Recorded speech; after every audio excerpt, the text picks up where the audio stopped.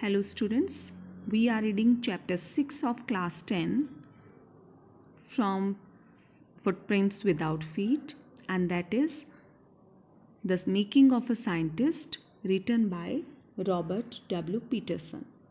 This story is about the leading scientist Richard Ebright. Richard Ebright has received the Searle Scholar Award and the Schering Plough Award for Biochemistry and Molecular Biology. It's, it was his fascination for butterflies that opened the world of science to him. So, this is a story of a curious child named Richard Ebright.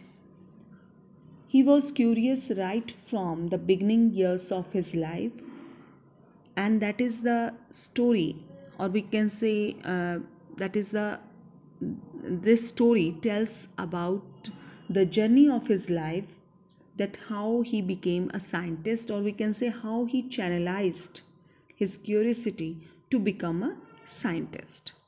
So let us move to the chapter. At the age of 22 a former scout of year excited the scientific world with a new theory on how cells work Richard. Ebright and his college roommate explained the theory in an article in the Proceedings of the National Academy of Science. So here we come to know that Richard Ebright's age was 22 when he surprised the world of science with the new theory of how cells work. So that was the topic how cells work. And Richard had earlier won the award of Scout of the Year. His roommate in his college was his colleague in this research, and they had explained the theory in an article published in a magazine. And what was the name of that magazine? Proceedings of the National Academy of Science. It was the first time this important scientific journal had ever published the work of college students. So, for the first time, this important journal of science had published an article written by college students. In sports, that would be like making the big leagues at the age of 15 and hitting a home run your first time at bat. Now, what's the home run? That has been mentioned here. A home run is the in the game of base, baseball is when the batter scores a run after running safely around all bases and back to the home plate without stopping. So here we can see a ball hit out of the playing field is also known as uh, home run and getting a paper published at the age of 15 in a scientific journal is here compared to scoring a home run while batting for the first time. So we can say in the sport of baseball it is equal to a player of 15 years just playing for the first time in a big tournament and scoring a home run in the first attempt.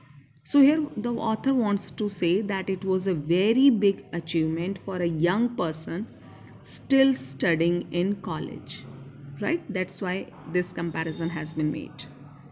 Now, for Richard Ebright, it was the first in a long string of achievements. So, we can say long series of achievements long chain of achievements so many achievements. So this was the first achievement in the long series of the achievements of richard Ebright in the in science and other fields. And it all started with butterflies. So his achievement started with the study of butterflies. An only child Ebright grew up north of reading pennsylvania that wasn't much I could do there, he said. I certainly couldn't play football or baseball with the team of one, but there was one thing I could do collect things.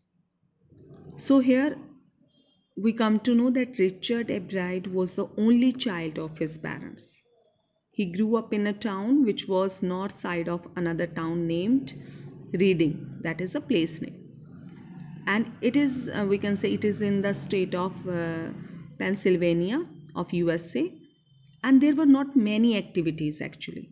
So he couldn't play football or baseball but he started collecting uh, just uh, several things.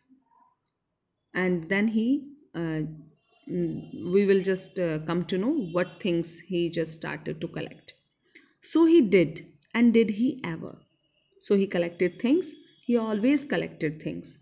And uh, then beginning in kindergarten Ebright collected butterflies with the same determination that has marked all his activities. He also collected rocks fossils and coins.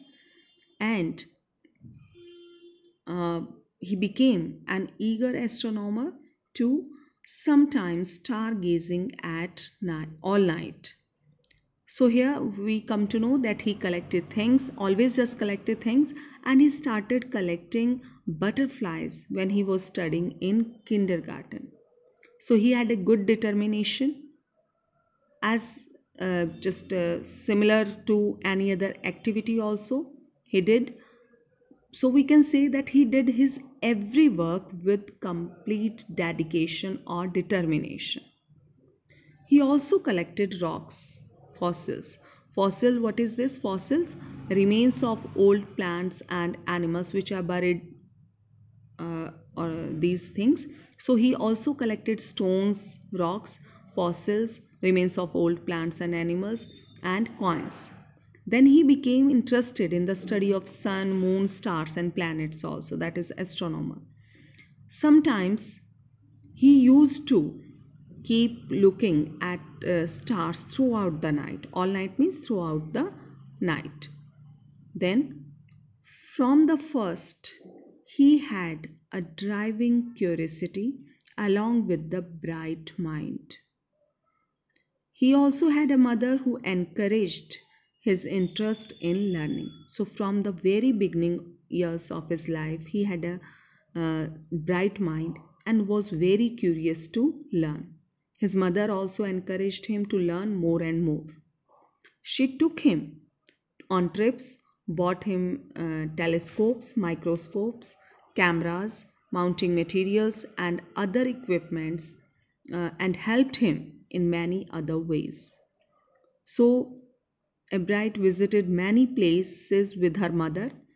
She bought telescope, microscope, cameras, and other things for him. Mounting mate- uh, material means which are used to uh, just to support telescopes or um, like these things.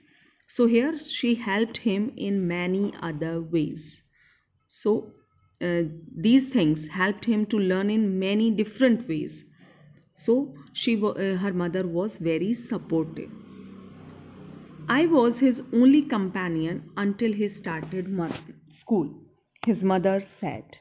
So his mother told that she was his only companion or friend till he started going to school. After that, I would bring home friends for him, but at night we just did things together.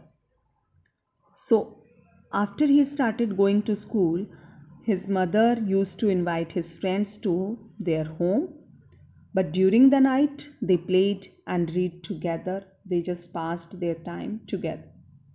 Richie was my whole life after his father died when Richie was in third grade. So we also come to know that father of Richard, uh, Richard died when Richie was studying in class 3, third grade. And then Richie uh, became his uh, became her complete life. That means whole life. So we can say her mother was uh, sorry his mother was attached or we can say have a uh, has a good bonding with it, with her son. She and her son spent almost every evening at the dining room table. If he didn't have things to do i found work for him not physical work, but learning things. His mother said he liked it, he wanted to learn. So here, uh, she, she means mother of Richie or Richard and Richie were all together at the dining table every evening. And if he, if he didn't have anything to do, his mother gave him some work but it was not a physical work, it was something new to learn. and he wanted to learn a lot so he liked this thing. And learn he did and he really learned. He earned top grades in school. He was a, that means he was a topper in his class. On everyday things he was just like every other kid his mother said so his mother told that his daily routine was same that of any other child. So his mother is saying he was not uh, an extraordinary child. He was just like the normal child ordinary children. But that means his daily routine was same that of any other kid. But he was a topper in his class. He had a brilliant mind. Now by the time he was in second grade Ebright had collected all 12 five, uh, sorry 25 species of butterflies found around his hometown so here we come to know that by the time Ebright reached in second standard or second grade, he had already collected all the 25 types of butterflies found around his hometown. So now we can see this table or box which has been mentioned here having the species and subspecies of butterflies collected in 6 weeks in Reading, Pennsylvania. Right? Now move to next.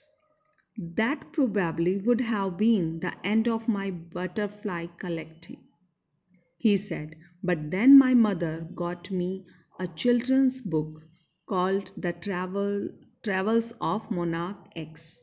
And that book, which told how monarch butterflies migrate to Central America, opened the world of science to the eager young collector. Who is the eager young collector here? Richard Ebright. So he said that probably I would have stopped my butterfly collection hobby after that. But my mother gave a children's book, and the name of that book was The Travels of Monarch X. And that book just uh, narrated or uh, told how monarch butterflies move from uh, other regions to Central America. And this narration, this description opened a new world of science to the enthusiastic, or we can say eager, young collector. Who is this one? This is Richard H. Bright. Now move to next. At the end of the book, readers were invited to help study butterfly migrations. So here in the last pages of the book, the readers were requested to help in the study of the migration of butterflies. They were asked to tag butterflies for research by um, by Dr. Frederick A. Urquhart of the University of Toronto, Canada.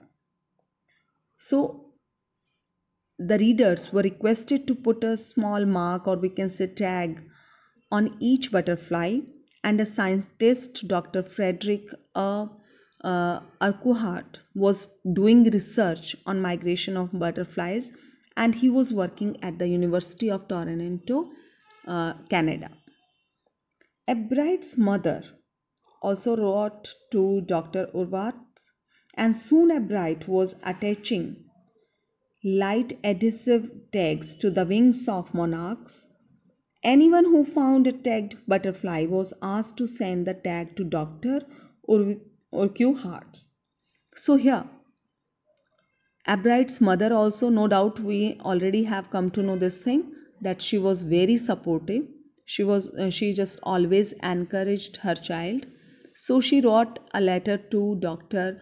Urquhart and soon eh, the tags arrived and Ebright used to fix a small sticky label or tag on the wings of the monarchs.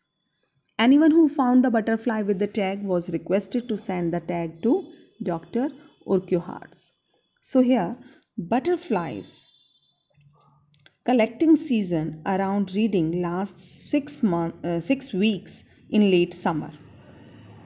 You can see uh, just graph here also that is mentioning how uh, the number and the kinds of butterflies collected in 6 weeks. If you are going to chase them one by one, you won't catch very many. So here we uh, come to know that the butterfly collecting season around the town of Reading was for 6 uh, weeks during later part of uh, summer season and if someone tried to catch butterflies by running after them, by following them, by chasing them, one would not catch a large number of butterflies. And that's why, so the next step for Ebright was to raise a flock of butterflies.